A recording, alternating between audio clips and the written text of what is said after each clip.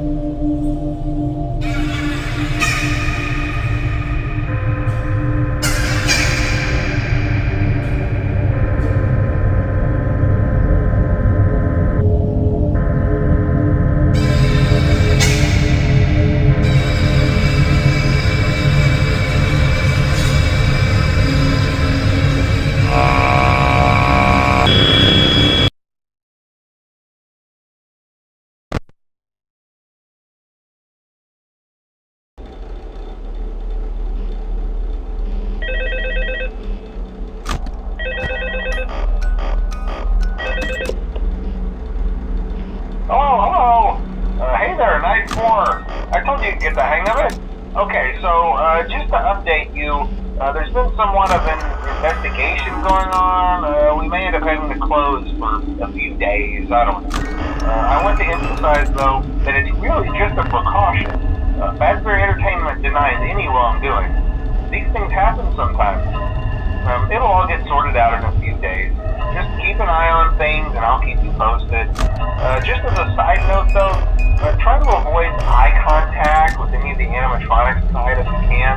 Uh, someone may have tampered with their facial recognition systems, we're not sure, but the characters have been acting very unusual, almost aggressive towards the staff. they interact with the kids just fine, but when they encounter an adult, they just stare. Uh, anyway, hang tight, it'll all pass. Good night.